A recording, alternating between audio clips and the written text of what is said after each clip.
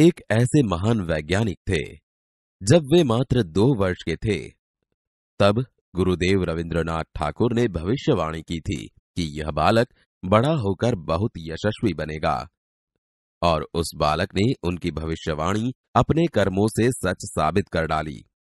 क्या आप जानते हैं वे कौन थे? वे थे हमारे महान वैज्ञानिक डॉक्टर विक्रम साराभाई।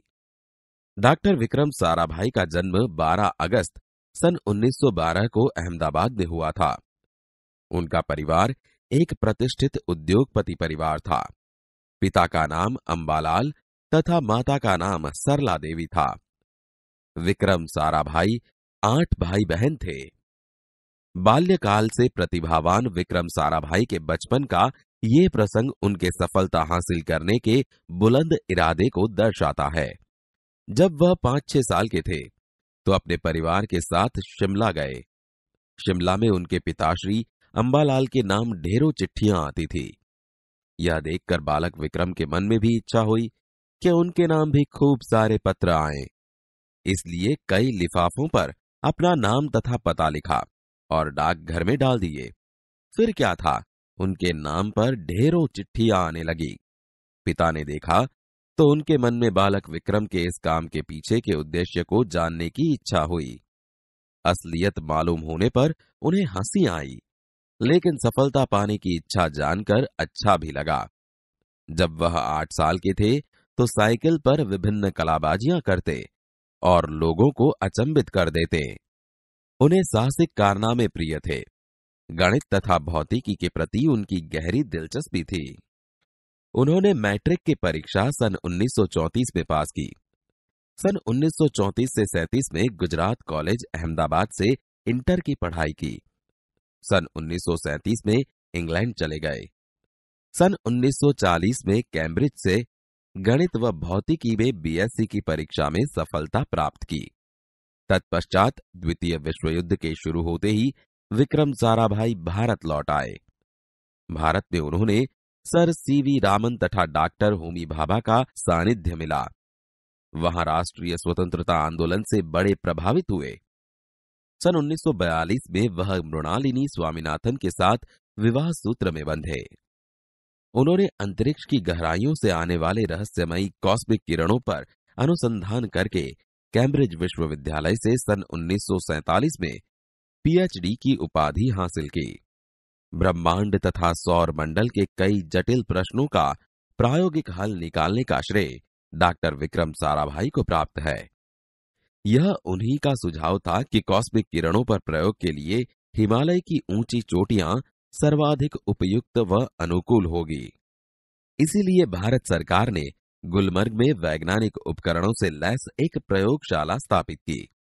डॉक्टर विक्रम साराभाई के निजी प्रयासों से सन 1947 में भौतिक अनुसंधान प्रयोगशाला अहमदाबाद में स्थापित हुई, जिससे वह आजन्म संबंध रहे। साथ ही उन्होंने देश में वस्त्र उद्योग की तकनीकी समस्याओं के हल निकालने के उपदेश से अहमदाबाद में ही टेक्सटाइल इंडस्ट्री रिसर्च एसोसिएशन की आधारशिला रखी। भौतिक अनुसंधान प्रयोगशाला डॉक्टर विक्रम साराभाई परमाणु शक्ति, अंतरिक्ष विकिरण, सूर्य, ग्रह तारा, प्लाज्मा भौतिकी और खगोल पर वह कार्य करते रहे। सन 1961 में वे परमाणु ऊर्जा आयोग के सदस्य बनाए गए। डॉक्टर भाभा की मृत्यु के पश्चात परमाणु ऊर्जा संस्थानों का भार युवा वैज्ञानिक डॉक्टर विक्रम साराभाई के कंधों पर ही आ गया। उन्होंने भारतीय अनुसंधान केंद्र का गठन किया। डॉक्टर विक्रम साराभाई इसके पहले अध्यक्ष बने। यह उनकी अगुवाई एवं अथक परिश्रम का ही परिणाम है कि भारत में दूरसंचार, दूरदर्शन व मौसम विज्ञान के लिए प्रक्षेपित अनेक उपग्रह अंतरिक्ष में सफलतापूर्वक कार्य कर रहे हैं। डॉक्टर विक्रम साराभाई ने अपना संपूर्ण जीवन भारत तथा विज्ञान के समग्र विकास के लिए समर्पित कर दिया। भारत के विकास में उत्कृष्ट योगदान के लिए उन्हें कई राष्ट्रीय और अंतर्राष्ट्रीय सम्मान प्राप्त हुए। सन उन्नीस में उन्हें डॉक्टर शांति स्वरूप भटनागर पुरस्कार, सन 1966 में पद्म भूषण तथा सन 1972 में मरणोत्तर पद्म विभूषण जैसे अलंकरणों से नवाजा गया। निशस्त्रीकरण से संबंधित कई महत्वपूर्ण अंतर्राष्ट्रीय संस्थाओं में भी भारत के प्रतिनिधि रहे। डॉक्टर विक्रम साराभाई सन 1966 में international council of scientific union के सदस्य रहे। सन 1968 में संयुक्त राष्ट्र संघ में यूनेस्को के विज्ञान विभाग के अध्यक्ष बने। उन्हें इंडियन जियोलॉजिकल यूनियन का प्रमुख बनाया गया। डॉक्टर विक्रम साराभाई सन 1970 में वियना शांति अंतर्राष्ट्रीय अणु मंच के चौदहवीं परिषद के प्रमुख बने। सन 1971 में संयुक्त राष्ट्र संघ परिषद के उपाध्यक्ष व बाद में विज्ञान विभाग के अध्यक्ष बनाए गए।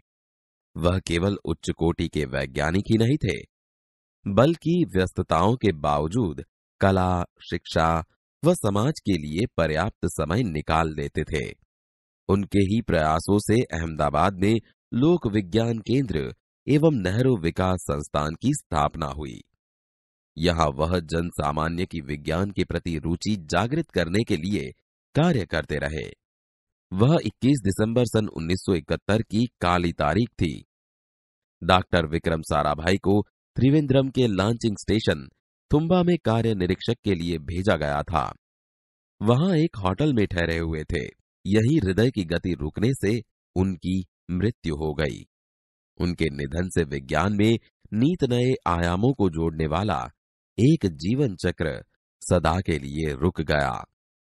ऐसी महान प्रतिभा को शत शत नमन